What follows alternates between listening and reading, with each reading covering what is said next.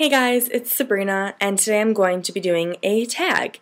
This is the Name Game book tag, and I was tagged a few weeks ago by Angelica M 2009.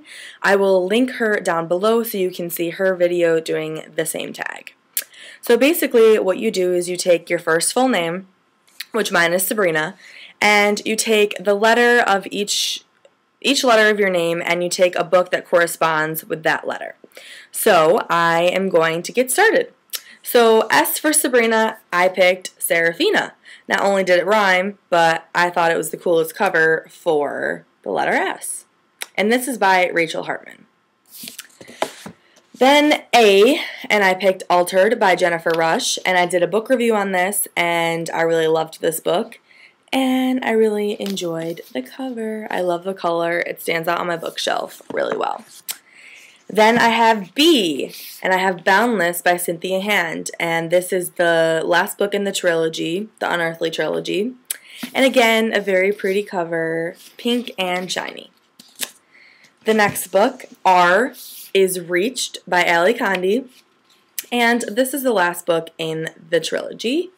And first book is Matched, and the second book is Crossed. I actually just bought this um, last night. I bought the whole trilogy, and I'll be doing a book haul right after this, so you will see that in there. Next, I have Insurgent by Veronica Roth, and this is the second book in the Divergent trilogy, and I'm really excited for the last one to come out. Again, very pretty cover.